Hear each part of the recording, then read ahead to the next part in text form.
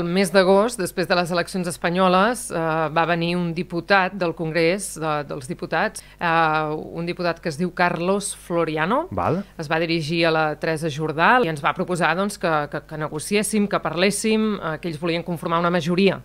I nosaltres li vam respondre que nosaltres no parlem amb el PP, que enteníem que només hi havia la possibilitat de conformar un bloc que és el bloc democràtic, perquè només n'hi ha un de bloc possible al Congrés dels Diputats. PP resoldre el conflicte polític?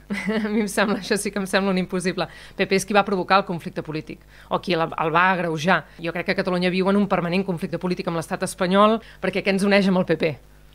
Res.